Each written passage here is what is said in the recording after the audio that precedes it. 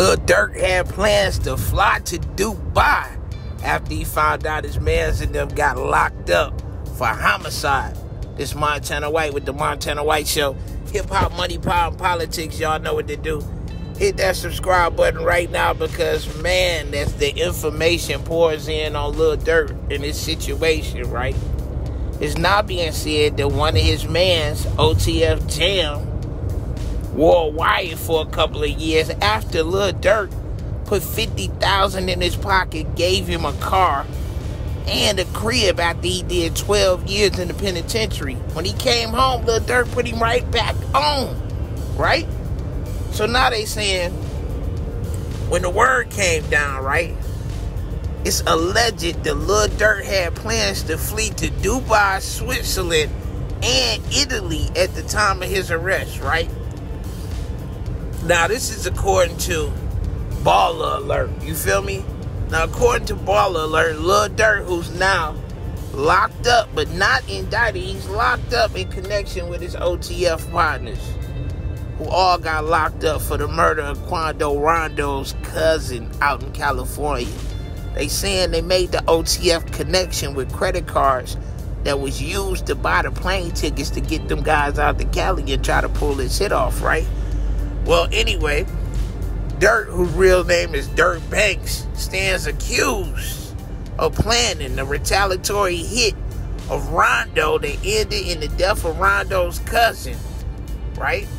This was in 2022. In a recently unsealed affidavit, right?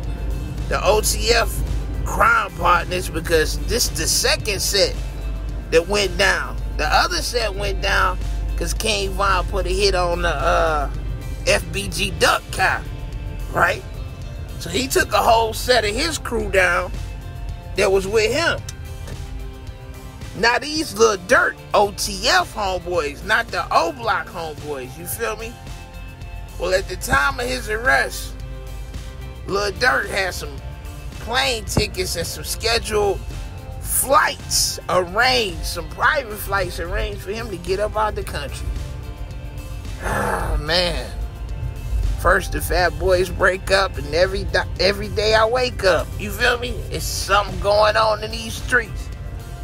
Now we gonna keep you tuned, locked in right here on Channel 10 Atlanta, the Montana White Show. But y'all know what it really is, right? It's really the first wave of this new technology catching up with the new generation and they crime sprees, right? Because using credit cards that you use to buy shit for your label is some dumb shit. That's a blind spot.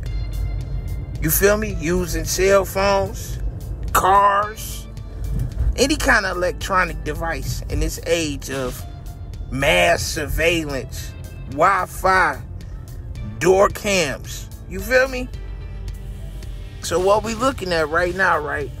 Because nobody knows the rules to this. The Patriot Act was signed a long time ago. So they coming up with new ways to surveil and new ways to check in on everybody every day. Now, what y'all think about this?